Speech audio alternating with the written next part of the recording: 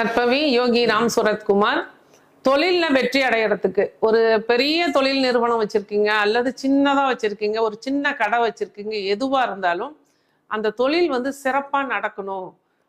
பெரிய வெற்றியாளர்களை வெற்றி வெற்றியாளராக நீங்கள் மாறணும். அந்த தொழிலே நீங்கள் நம்பர் ஒன்னாக இருக்கணும் அப்படின்னா ஒவ்வொரு சனிக்கிழமையும் ஒரு அரச இலை ஒரு அரசலை எடுத்துகிட்டு எடுத்துட்டு வந்து உங்கள் பூஜை அது உங்கள் கடையிலையோ உங்களோட வியாபார ஸ்தாபனத்திலையோ காலையில் தீபம் ஏற்றி நீங்கள் வழிபாடு பண்ணும்போது அந்த அரச இலையை வச்சு அந்த அரச இலை தான் உங்கள் தொழில் அப்படிங்கிற நம்பிக்கையோட வழிபாடு பண்ணிட்டு அந்த அரச இலையை உங்கள் நீங்கள் உட்காரக்கூடிய நாற்காலிக்கு அடியில் அதை வச்சு அது மேலே உட்காந்துடக்கூடாது நாற்காலிக்கு கீழே உங்களோட சேருக்கு கீழே அந்த அரச இலையை வச்சுட்டீங்க அப்படின்னா தொடர்ந்து இது போல எட்டு வாரங்கள் ஒவ்வொரு சனிக்கிழமையும் காலையில் நீங்கள் வந்து ஆறு டு ஏழு இந்த வேலையை பண்ணணும். நீங்கள் ஒரு அரசியலை கொண்டு வரணும்.